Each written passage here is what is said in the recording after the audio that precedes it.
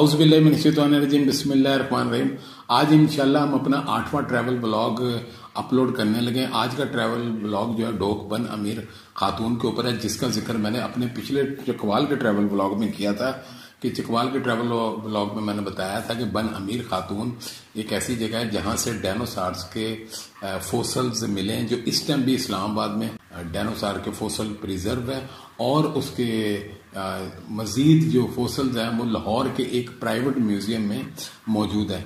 तो एक बन अमीर खातून के हवाले से मैं थोड़ा सा बता दूँ कि इसमें जो ढोक बन अमीर खातून है ढोक कहते हैं एक छोटे से विलेज को एक छोटे से गाँव को आ, अपना एक टाउन आप कह सकते हैं एक डेरे को कह सकते हैं। और बन से मुराद जंगल भी है और बन से मुराद एक तालाब भी होता है। तो यहाँ चूँकि एक इस नाम से एक डैम भी मौजूद है बन अमीर खातून डैम तो उसको बन से लिया जा सकता है। और दूसरी वजह जो जंगल है तो जंगल भी ऑलरेडी मौजूद है। आर्कियोलॉजी डिपार्टमेंट और मुख्तलिफ़ यूनिवर्सिटीज कॉलेजेस के विजिट्स यहाँ आते रहे और उन्होंने यहाँ पर काफ़ी ज़्यादा इसके ऊपर वर्किंग की है। और जो फोसल्स हैं, वो इस टाइम भी इस्लामाबाद के म्यूज़ियम और इस्लामाबाद के म्यूज़ियम के अलावा लाहौर म्यूज़ियम मौजूद है। एक्चुअली इसकी लोकेशन क्या है? चकवाल से 36 किलोमीटर पर चुआ सैदन शाह वाक़ है। तो जब हम चकवाल से चुआ सैदन शाह की तरफ़ जाए तो चुआ सैदन शाह आने से पहले राइट साइड से एक टर्न होती है, जहाँ लिखा हुआ है बन अमीर खातून, जहाँ पर ये टाउन जो है, वो वाक़ है। और जहाँ तक हम इसकी एलिवेशन की बात करेंगे इसकी एलिवेशन लाहौर और चकवाल दोनों से कहीं ज़्यादा है, क्योंकि अगर हम चकवाल में होते हुए, चकवाल ही के इस एरिए की एलिवेशन की बात करें तो इसकी एलिवेशन 1925 फीट है। जो कि चकवाल से तकरीबन 300 ज़्यादा है, क्योंकि चकवाल की एलिवेशन सोलह है, जबकि बन अमीर खातून की एलिवेशन 1925 है। और अगर यही कंपैरिजन हम लाहौर के साथ करें तो वो बहुत ज़्यादा फ़र्क बन जाता है। वो तकरीबन डबल से भी ज़्यादा क्रॉस कर लेती है इसकी एलिवेशन, क्योंकि लाहौर की एलिवेशन 712 चकवाल की सोलह जबकि बन अमीर खातून की 1925 है। आज का जो हमने विज़िट किया इस विज़िट के अलावा हम गवर्नमेंट हाई स्कूल के टीचर हैं जिनके काविशों के हवाले से उन्होंने एक म्यूज़ियम तैयार किया है। वो भी विज़िट का हिस्सा है। उसको भी हमने इस ट्रेवल व्लॉग में डाला है और जो म्यूज़ियम हमने विज़िट किया है उस बारे में भी आगे आपको चल के बताया इस टाइम हम पहुँच चुके हैं खोखर जेर स्कूल में गवर्नमेंट हाई स्कूल और मलिक अनवार हैदर साहब। और अख्तर साहब हमारे साथ हैं। तो जमील साहब जी स्कूल के टीचर हैं एस एस टी की पोस्ट पर हैं। काफ़ी इन्होंने मेहनत की सारी मेहनत की वजह से ये सारा ये सेट किए गए हैं। जी अस्सलाम मैं आपको स्कूल में वेलकम करता हूँ। तो म्यूज़ियम के हवाले से मैं आपको थोड़ा सा ब्रीफ कर देता हूँ। ये हमने अपनी मदद आपके तहत बना रखा है। दस पंद्रह साल से हम लोग इस पर काम कर रहे हैं।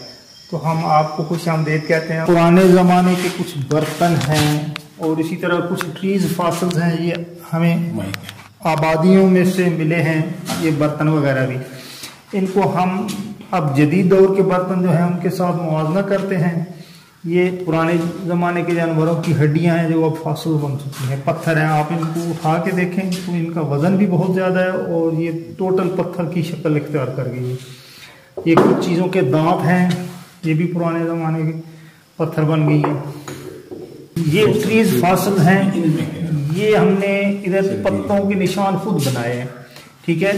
इसी तरह इन चिटानों पर कुदरती तौर पर भी बने हुए थे। ये वाले हमारे अपने बनाए हुए हैं।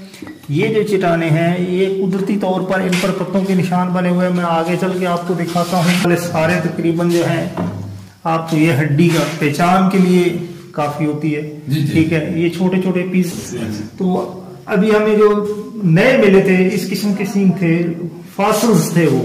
वो पंजाब यूनिवर्सिटी में पढ़े हुए हैं।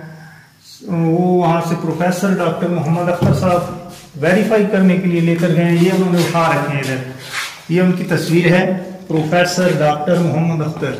ये क्लास में बैठे हैं म्यूज़ियम देख रहे हैं और ये सिंह फासल्स थे, वो यहाँ से लेके गए थे। जी, ठीक है। ये आप एक हड्डी है, देखें। ये बहुत भारी है। ये वाली किसी मोरे की हड्डी है या कमर की ठीक है। ये बच्चे इसमें बहुत ज़्यादा काम करते हैं स्कूल के उनको भी समझ आ चुका है। मैं आपको पत्तों के निशान बता रहा था कि आगे चल के मैं आपको बताता हूँ। ये देखें पत्थर पर कुदरत की तरफ़ से बना हुआ निशान है। बिल्कुल साफ़ वाजह नज़र आता है। क्या चीज़ है? पत्ते पत्ते का निशान। ये कुदरती बना है। किस तरह महफूज हुआ ये? किस तरह मतलब अल्लाह ताला ने अपनी कुदरत से ये जंगल था जानवरों की खुराक थी तबाह हुआ। अब उसको साबित करने के लिए हमने पत्तों पे बनाए थे इधर स्लेबों पे खुद बनाए हैं। ठीक है? तो मुख्तलिफ़ चट्टानों में होते हैं कुछ रेत वाली चट्टाने हैं कुछ लाल मट्टी की चट्टाने हैं। जी उनमें से ये हमें चीज़ें मिलती रहती हैं। तो हर बंदा तो तकरीबन नहीं ढूंढ सकता। ये भी कोई ऐसी हड्डी है पुरानी पुरानी। इसके अलावा बड़ी भी बहुत सारी हड्डियाँ थी। एक दो मुख्तलिफ़ किस्म के पत्थर हैं। वो भी हैं ये बर्तन पुरानी आबादियों से मिले हैं। ठीक है? ये पुरानी आबादियों के ये पत्थर आपस में इनका मुआवजा करते रहते हैं। कुछ इनमें से कीमती पत्थर भी मिल सकते हैं। ये भी सारे पत्थर हैं। जिन बच्चों ये बर्तन जो है छोटे छोटे ये ज़्यादातर शमशान घाट से जहाँ पर हिंदू मुर्दे जलाते हैं, ये वहाँ पे बहुत ज़्यादा मिलते हैं। अभी अगर आपका उधर जाने के तफा हो तो आपको इनशाला नज़र आएँगे। तो के निशान है। ये उधर जो मैंने बताया ना, आपको मकान बना हुआ है। मकान उन्होंने उखाड़ उखाड़ के फेंक दिया है। तो इसको जब खोलते हैं या कटाई करते हैं तो इसमें से वो निकल आते हैं।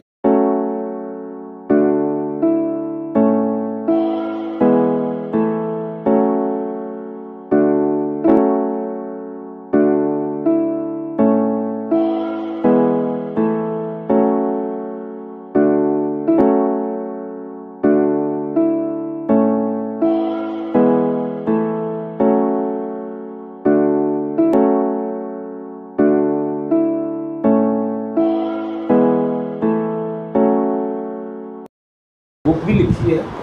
ये चकवाल की तारीख के वाले से खासी अहम है। इसका नाम है historical and recreational places of Chakwal ये आपको नज़र आ रही होगी। ये बुक भी लिखी है। जी, अस्सलाम वालेकुम। हवीद साहब, मैंने एक छोटा सा काम शुरू किया था। मुझे बड़ा मतलब है इंटरेस्टेड मालूम हो रहा था और हमारे जो इलाका है, इससे रिलेटेड था।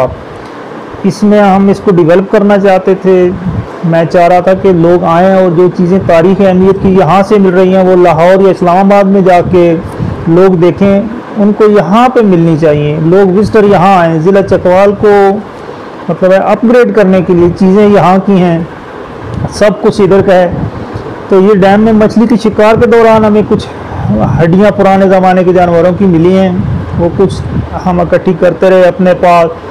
फिर अखबार वालों ने, पंजाब यूनिवर्सिटी वालों ने हमारे साथ रबता किया, इनको वेरीफाई किया।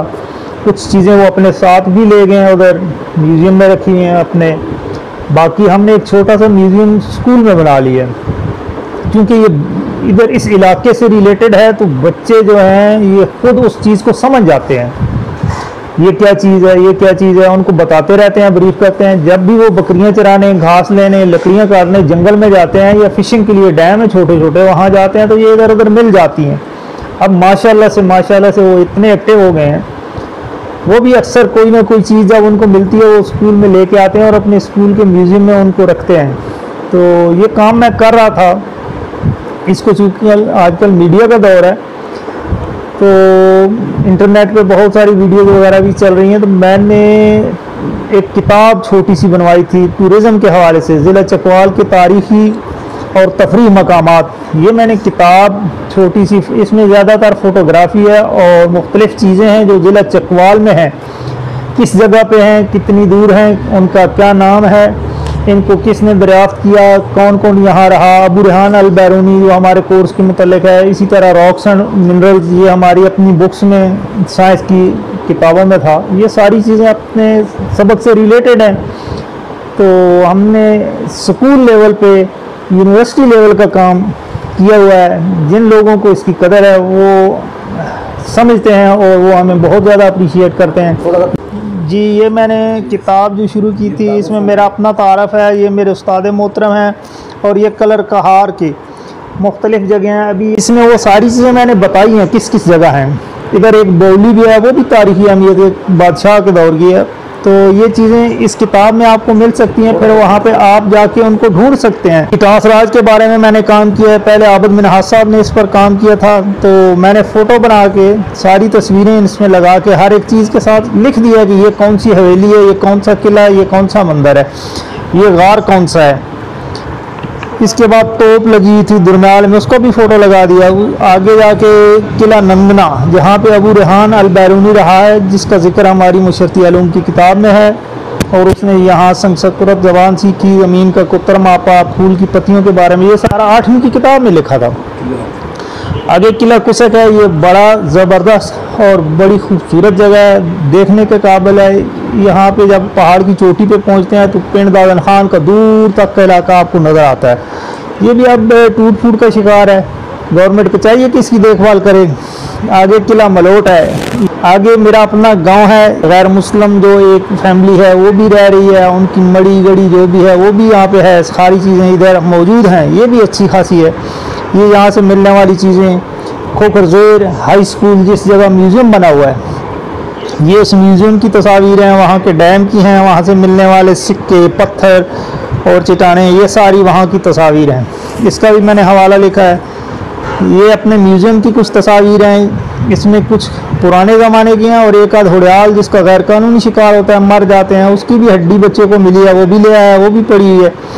और आगे मैंने इस हवाले से थोड़ा नमक की कान का भी ज़िक्र कर दिया। ज़िला चकवाल में नहीं है लेकिन इससे बिल्कुल मोटरवे पे करीब तरीन जगह है। हाँ जी ज़िला जेलम में है। चकवाल में आसान बंदा यहाँ पहुँच सकता है मोटरवे के ज़रिए। फिर चुआ कलर कहार और ये चीज़ें सारी देख सकता है और सीधा चूड़ा नमक की कान पर पहुँच जाता है। ये बड़ी दूर दूर से पूरी दुनिया से लोग यहाँ देखने आते हैं।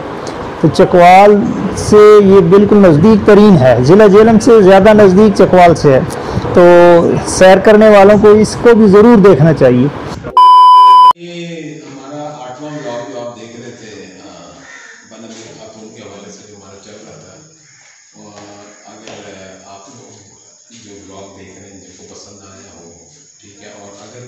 उन्होंने सब्सक्राइब नहीं किया तो वो सब्सक्राइब कर लें, ठीक है, और बेल आइकॉन भी दबा लें। इंशाल्लाह मिलते हैं फिर अगले ब्लॉग के साथ। जब तक के लिए अल्लाह हाफिज़।